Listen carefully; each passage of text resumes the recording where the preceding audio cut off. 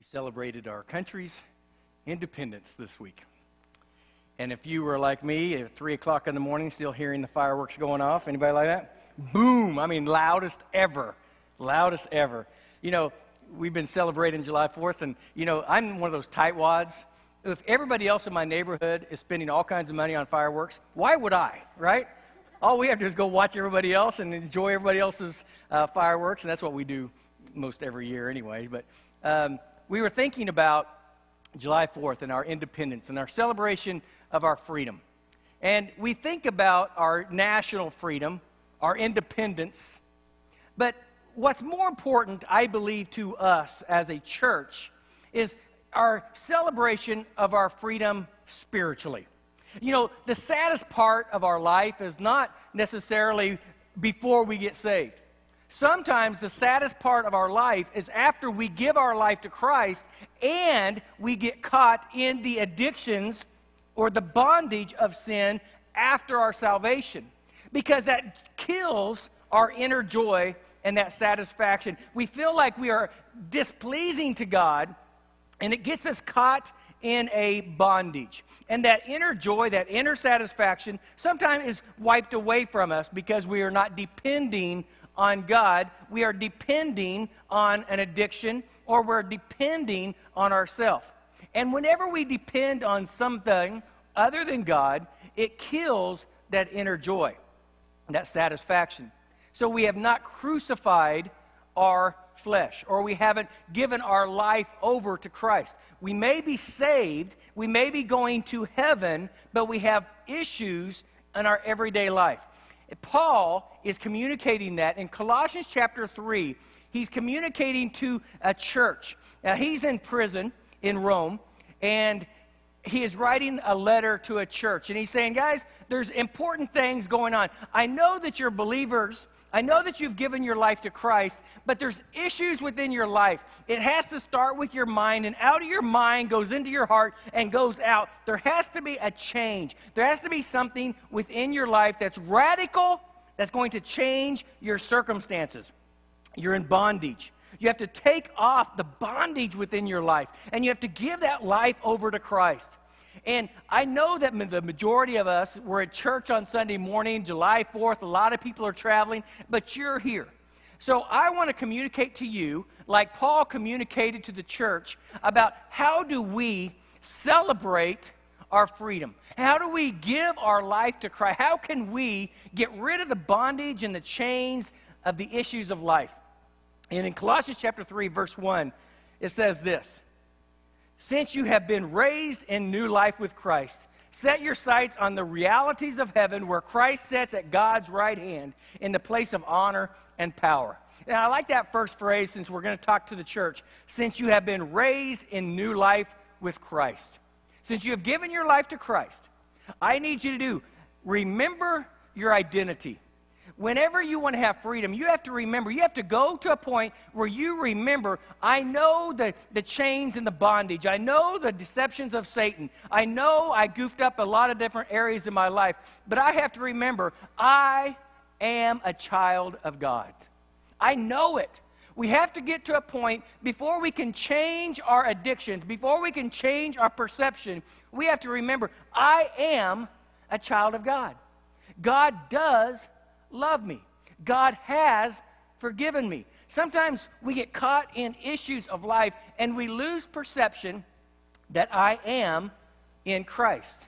I am a child of God. I have been forgiven. We start thinking from our perception because I have problems, because things are going wrong, because people in my life cause have, uh, problems within my life, I get caught in the issue that God must not love me, or I must not be his child.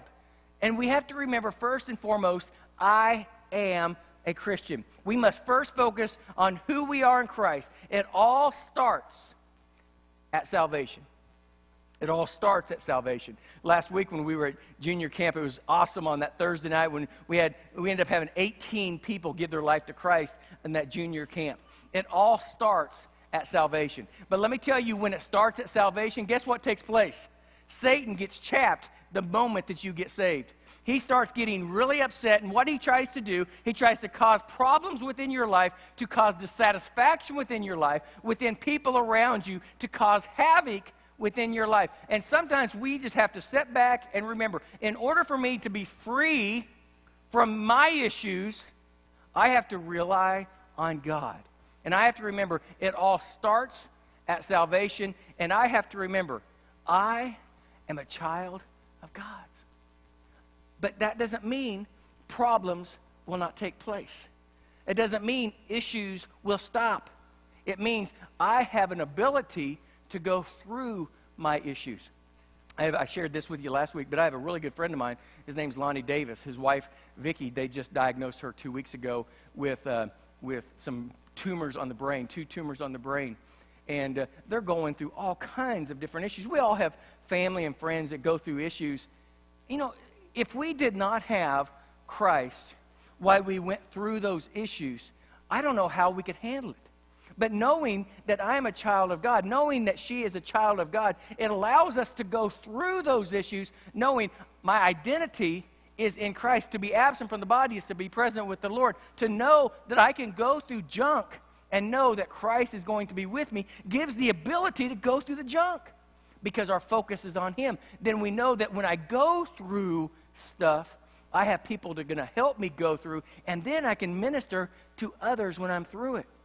But our first and foremost thing is we have to realize before we can have freedom, we have to have identity. We have to have identity. My first question would be this Are you identified with Christ? Do you know without a doubt that Jesus died on the cross for your sins? I've accepted him as my Lord and Savior. And now, without a doubt, I've been identified with Christ. I know without a doubt when I die, I'm going to heaven. Because until we get that part straightened out, we can never be free of issues of life until we know for sure that my identity is in Christ. And once we know that, we can move on. Then the second point is renew your thought life. Renew your thought life. To be free, it all starts in the mind. Listen to what Paul said in verse 2. It says, Let heaven fill your thoughts. Do not think only about things down here on earth we have to remember think about the things of God. What does God want you to do, and how does God work within your life? We have to renew our thought life. If we don't renew our thought life, we're going to be focused on the things of this earth, on what we desire instead of what God desires. We must focus our minds on through above. We must develop internal standards that give God the glory. So, how do we do that? on purpose. The Bible says we must take every thought captive. Every thought. Why is thoughts so important? Because in the seed of a thought becomes reality to our minds. The seed of a thought. If I could start thinking about something, if I start dreaming about something, if I start thinking about the things of God, dreaming about the things of God, the things of God becomes a reality to me. And I'm excited about what God can do. But the other side of that, if I start thinking about the sin or about who I am or what I've done, what Satan does, he keeps on creeping into our minds and he starts making us believe that's who we are instead of identified in Christ. We are the sin. We have goofed up. We can't do anything. He pollutes our minds because of our thought. And we have to take every thought captive. If you've ever had issues, say, say depression, say, say that you made mistakes and that, that depression or that conviction or Satan's oppression starts getting to your minds and you start identifying that that's really who I am. I'll never get out of it. I will never be able to beat this addiction or this compulsion. This is who I am. And we start believing because I've made a mistake or because Satan wants me to think, we start thinking that's who I am. And we need to take every thought captive because we are identified with Christ. We have the power through Christ to defeat Satan, defeat our thought process. But until we know we're identified with Christ, we'll never win. Until we take every thought captive, we'll never win. Every thought. means when we get up in the morning, we go to bed at night, and what we talk about, what we think about, is so important because the seeds of thought starts multiplying within our minds, within our hearts. We start thinking about things, and that's who we become in our minds. And if anything, sometimes we, we our, our, our worst case scenarios, we start thinking of what could be, what could happen. And we start thinking about the worst case scenarios within our life. And what happens, we start living those worst case scenarios out. Instead of thinking of what Christ can do with us, the base, best case scenario, what Christ wants to do through us, we start thinking of what Satan can do with us. And we get depressed and we get down and we get out. We get caught in that bondage. But if we take every thought captive, what I'm going to do, how I'm going to do certain things, Paul is saying, he said, Church, this is important. Until we can take every thought captive, we are going to be in prison. We are going to be in our dirty clothes. We have to change the way we think. We have to change the way that we do certain things. And we have to look at am I identified with Christ? And is Satan polluting the things I think about? Am I only thinking about the things of this world? Am I only thinking about sin? Am I only doing what I want to do and not doing what Christ wants me to do? The third thing is recognize your old life is dead. Recognize your old life is dead. Now, that's a big one. The Bible says, I take glory in the cross. I don't take glory in the things of my past. I have to take glory in the cross and I have to communicate the things of the cross. But sometimes we as Christians, we revel in our testimony instead of taking delight in God's salvation. What we have to do is we have to say, My past is dead, and bury our past. Sometimes we look at our past and we say, I am limited because of my past. Because of my past, I have failed God, so I can't do things for God. And God says just opposite of that. He wants to use our past in order to bring glory to Him in our future. But so, if we just take Paul for an illustration, Paul's past was horrendous. He was a persecutor of the Christians. He hated the church. But God chose somebody that had a wicked past to bring glory to his name.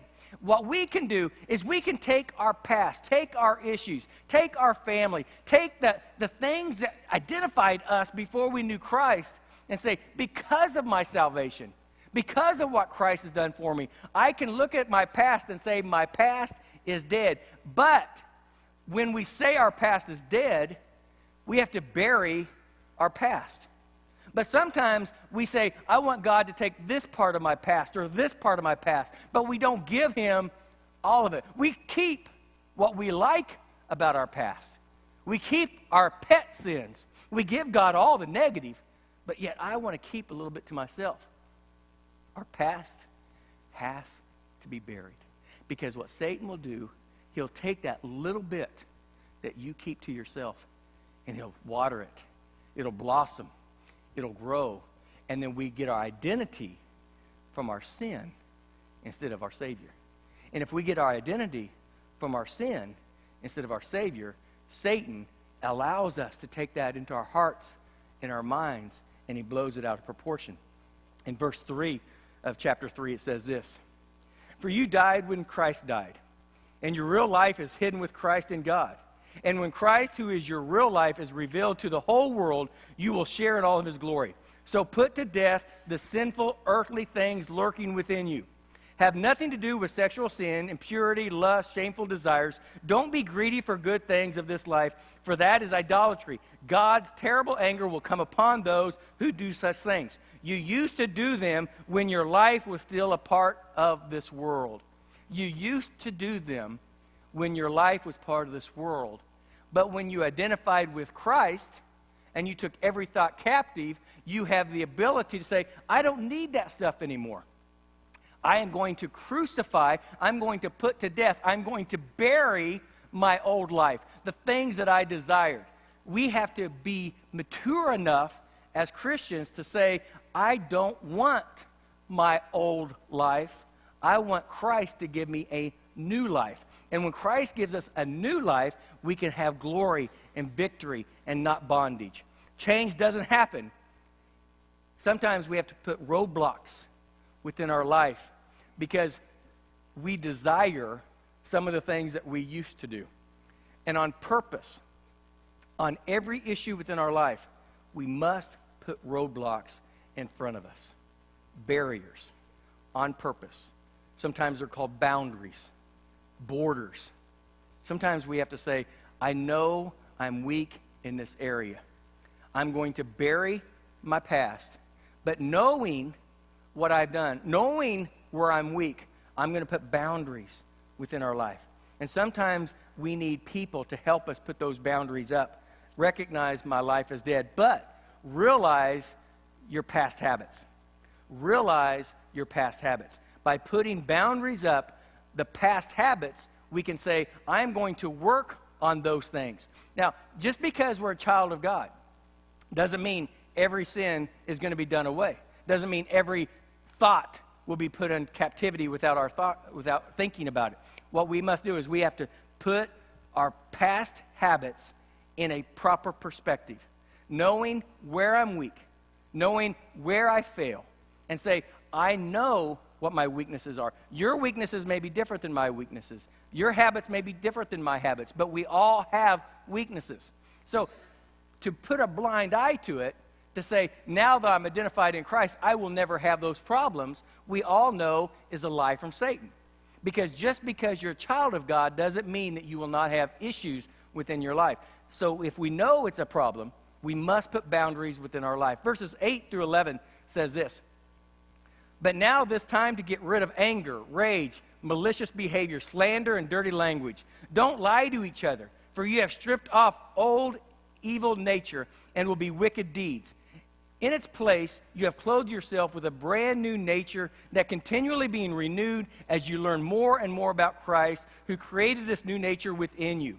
In this new life, it doesn't matter if you are a Jew or a Gentile, circumcised or uncircumcised, barbaric or uncivilized slave or free. Christ is all that matters, and He lives in all of us. It makes no difference who you are. We must put a focus. It makes no difference what you've done. Put a focus on Christ. Get rid of certain things within your life that's going to cause anger, malice, and maliciousness. Get rid of it. Put it on focus and say, I understand I was one of these things, but Christ gave me a new nature. What's this nature thing? There's two natures within our life the old nature and the new nature. And when we gave our life to Christ, he put within us the Holy Spirit of God and a new nature. Our old nature is still existent. We still have the old man within us. We still have issues within our life. But we have a ability to conquer the things of this world, and that's the Holy Spirit's power within our life to overshadow. In Galatians chapter 5, it talks about, about the spirit that wars against each other, the, the flesh against the spirit and they contrary to one another. They fight all the time. And when they fight all the time, we get, we get disillusioned. Basically, who am I going to listen to? Am I listen to the flesh or am I going to listen to the spirit? It's kind of like two angels on your shoulder whispering in your ear, eh, What do I do? What do I do? What do I do? And in Galatians chapter 5, the flesh is our earthly desires that we have become accustomed to. The spirit is the new nature that God has given to us when we give our life to Christ. And once we've given our life to Christ, the Holy Spirit within our life gives us abilities to fight our past. And we have to crucify those things. We have to, on purpose, crucify those things. When I'm, when I'm talking to people all the, all the time in the office and doing counseling, they, they, they come across, say, well, it just happened.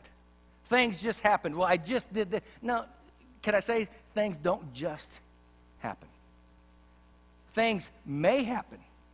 But if we took every thought captive and we put our life in God's perspective and understand everything has consequences, whatever I do has consequences, we can put our sin under the blood, bury our life, and things won't just happen because we're taking a proactive approach of sin. Now, things might happen physically, they might happen relationally, but things usually don't just happen. And what we have to do is we have to take every thought captive and put Christ where he needs to be. But lastly, it says, replace them with new ones. replace them with new ones. In verse 12, it says, Since God chose you to be a holy people, whom he loves, you must clothe yourselves with tenderhearted mercies, kindness, humility, gentleness, and patience. You must make allowance for each other's faults and forgive the person who offends you. Remember, the Lord forgave you, so you must forgive others. And the most important piece of clothing you must wear is love. Love is what binds us all together in perfect harmony. The evidence of our salvation is the fruit of the Spirit. And in that, humility, gentleness, and patience. And you must allow for each other's faults and forgive the person who offends you. Once we have been forgiven, we have the ability to forgive others. It's very difficult. There's issues that are overwhelming to us. And I, I, I share this illustration. And if you've been here for some time, I, w- I want to preface this. You, you may have heard all my stories. Um, but you know, we have a lot of people in the church that haven't heard all my stories.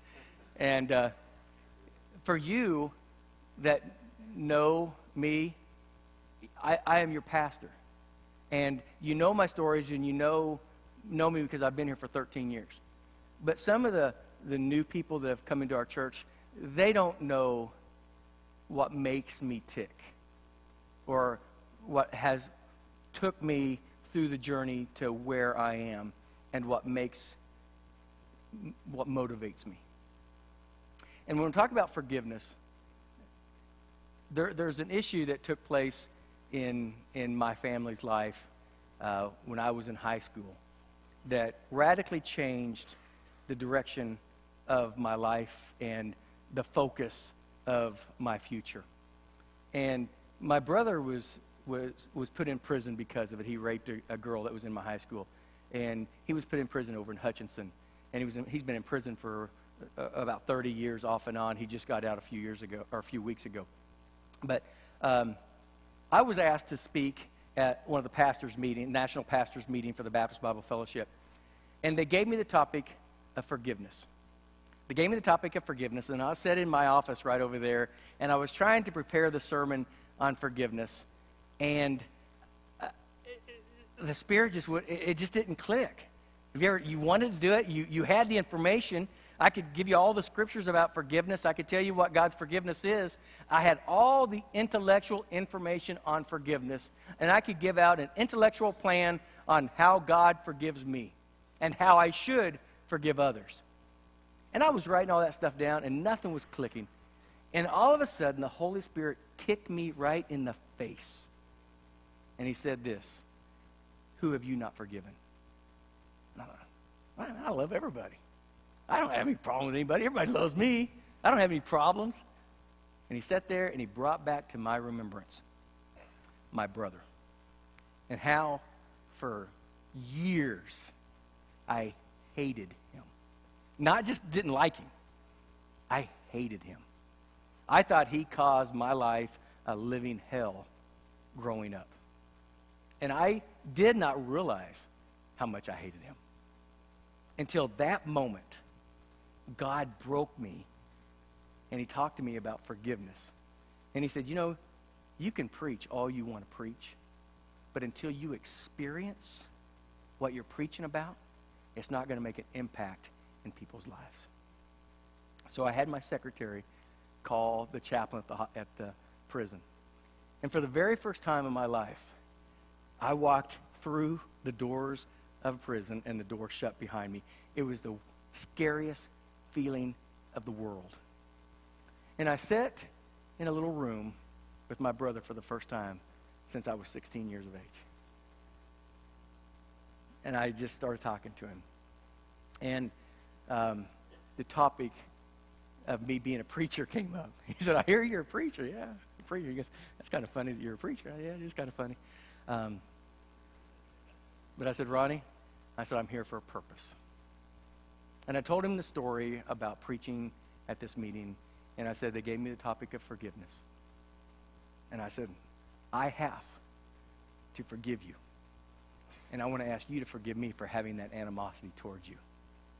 And it was an awkward, very awkward time. But we got to talk, and we, he forgave me, and I forgave him.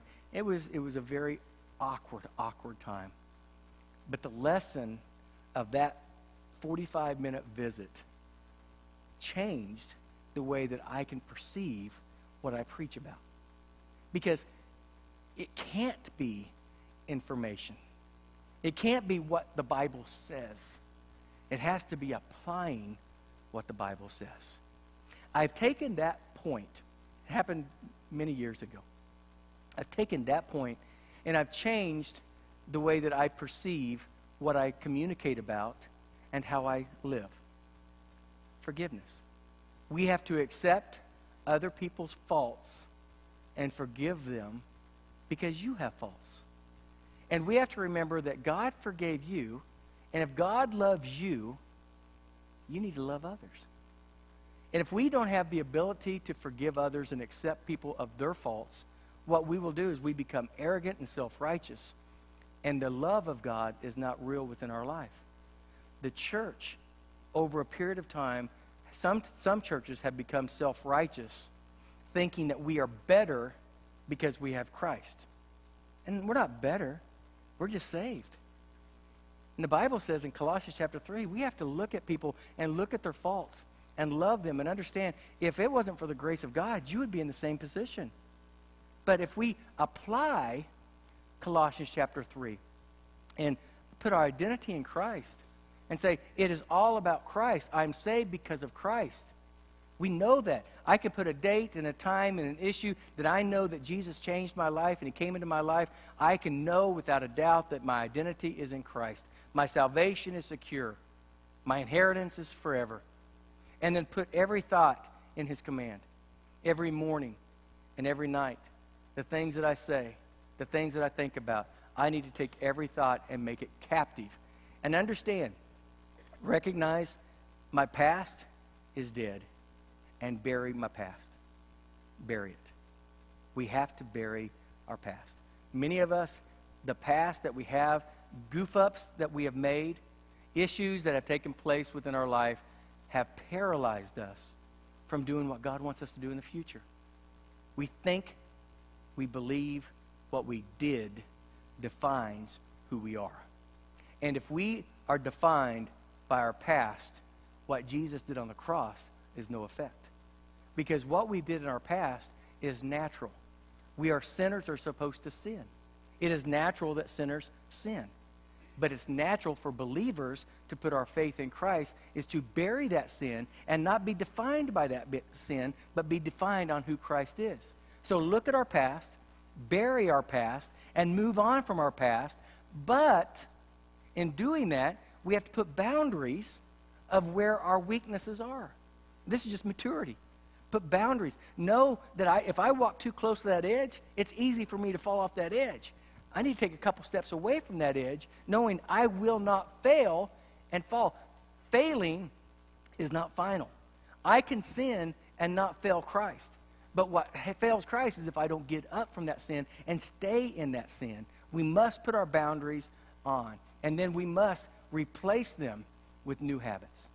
We must replace them with new habits. How do we do that? Satan wants us to become disillusioned at best. He wants us to think that the first thing that we need to give up is our faith, that we don't need to put focus on our faith.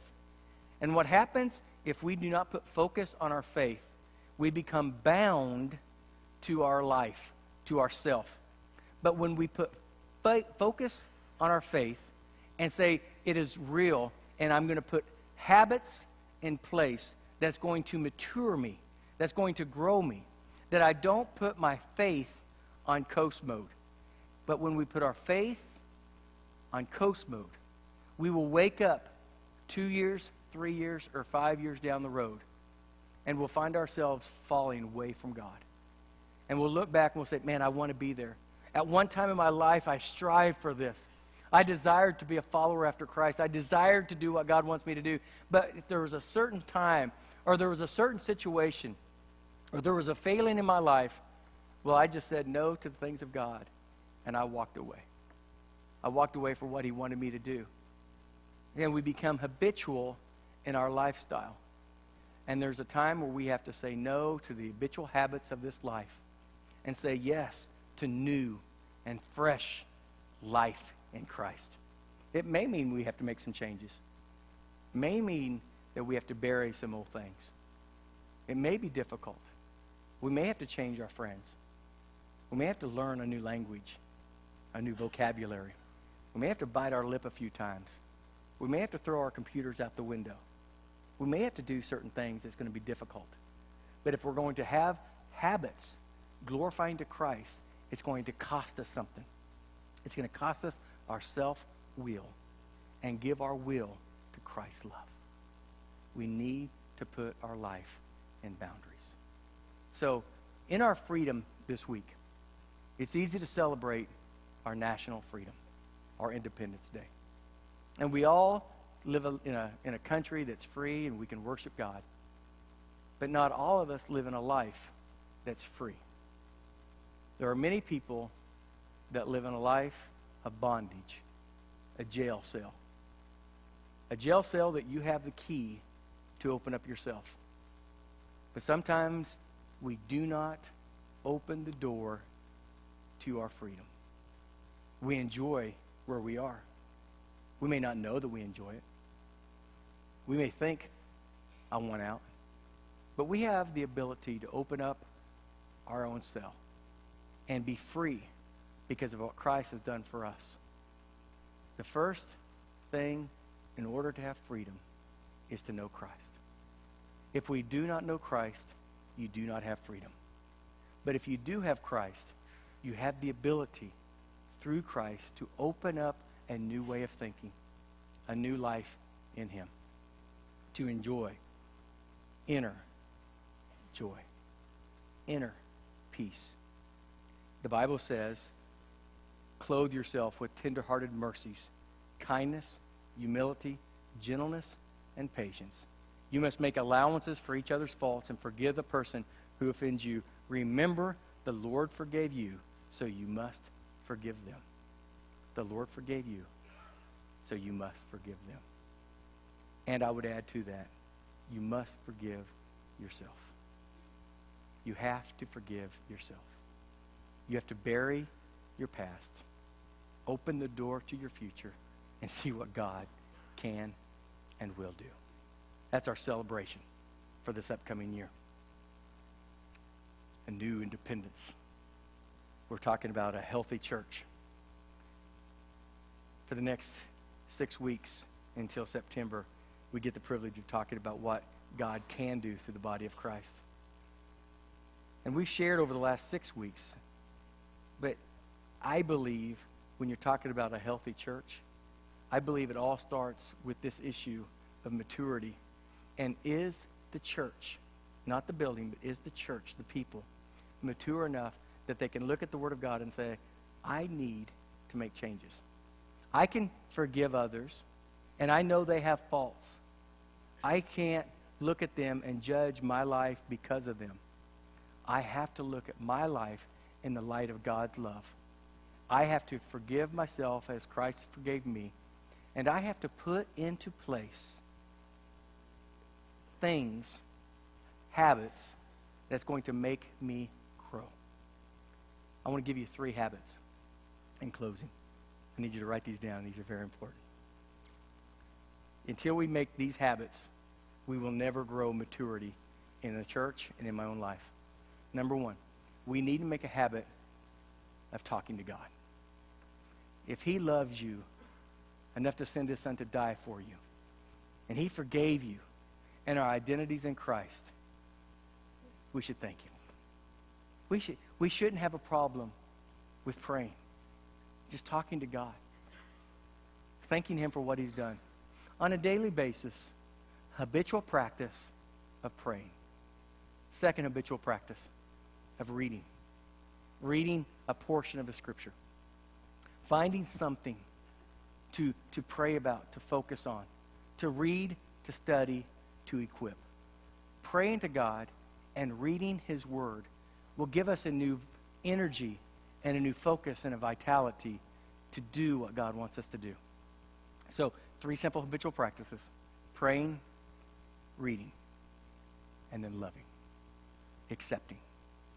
Looking for someone to invest your life in, looking to somebody to minister to, to pray with.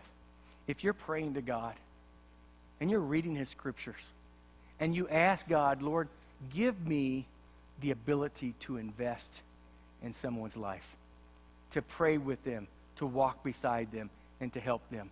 You know what that does to you? That gives you a focus that it's not about you, it's praying to God, it's reading God's Word, it's being a vehicle, a messenger, a missionary into God's Word through His work to do His will. So if I'm praying to God and reading God's Word and I'm living my life serving somebody else, guess what that does for me?